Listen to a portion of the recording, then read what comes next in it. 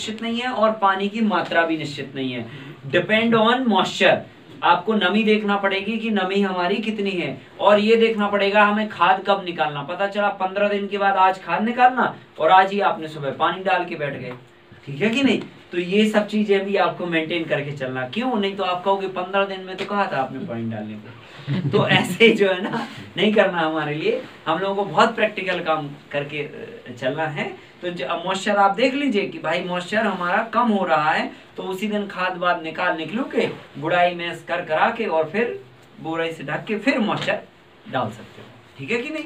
तो ये आपको ऐसे मेंटेन करना। फिर इसके बाद जो लिक्विड निकलता है तो वो लिक्विड निकल के जाके नीचे नीचे जो मैंने बताया ना रोड पे आपने ढेर लगाया तो लीच आउट हो गया, ज़मीन के अंदर चला गया, है कि नहीं?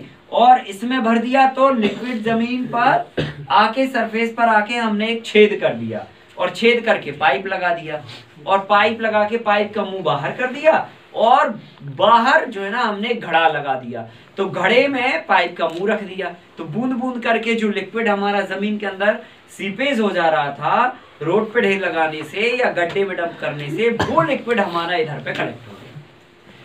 This is the complete diet and whole diet of soil ये संपूर्ण भोजन है पौधे का। कंप्लीट डाइट इसको ट्री का नीचे रखना है ज़रूर पेड़ का छाया में रखना है। हाँ पेड़ के छाया में तो रखना ही है। अगर नहीं हो छाया तो आपको शेड बनाना है। हाँ अगर नहीं है छाया तो आपको शेड बनाना है।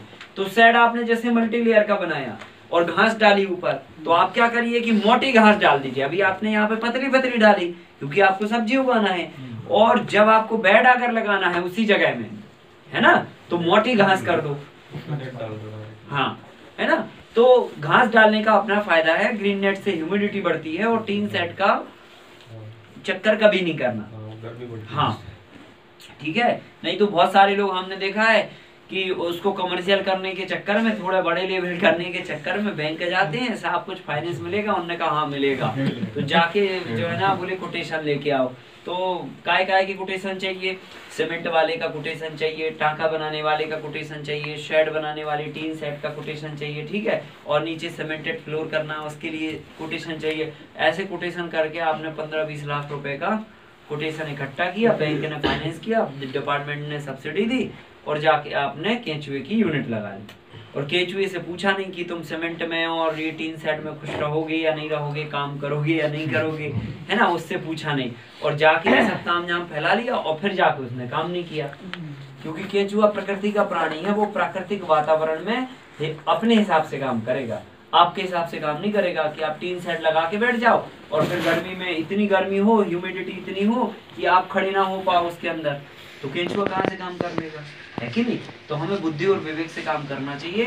बैंक फाइनेंस दे या ना दे कोई हरकत नहीं है। डिपार्टमेंट सब्सिडी दे या ना दे पहले केंचुए का ध्यान रखना है आपको। ठीक है? कि केंचुआ सही से अगर काम कर रहा है तो वो आपको दो बेड में उतना रिटर्न दे दे, दे, दे जाएगा जितना आप चालीस बैग लगा के सेटअप करोगे। समझ ना अगर ये ढंग से काम कर दिया तो तीन दिन लगातार काम करने वाला प्राणी है वो। है ना? और तीन सेट लगा के अगर आप बैठे तो ठंड में ठंडी के कारण काम नहीं करेगा और गर्मी में गर्मी के कारण काम नहीं करेगा। केवल उसमें बरसात में काम करेगा केंचुआ आपका।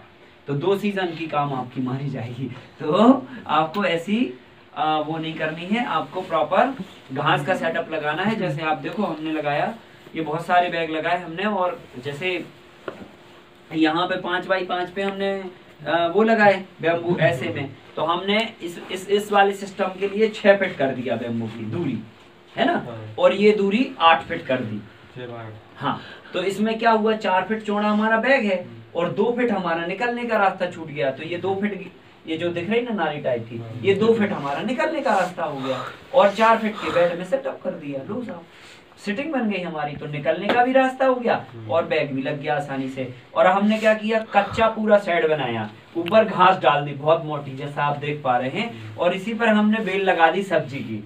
कुंदरू है लौकी है करेला है गिलकी है तोरई है खीरा है। तो ऊपर जाके हमारी सब्ज़ी भी हो रही और नीचे हमारा केंचुआ पालन हो रहा। और केंचुआ बहुत सुखी सुखी काम कर रहा। क्यों? क्योंकि धूप लग नहीं रही। ह्यूमिडिटी हो नहीं रही क्योंकि घास है। है। ना? कितनी गर्मी पड़ेगी तो वेंटिलेशन प्रॉपर होता रहेगा तो उमस नहीं हो पाती है। तो केंचुए को कंफर्ट फील होता है मतलब सहज फील होता है। और ऊपर से हमने सब्ज़ी और लगा दी सो और ठंडक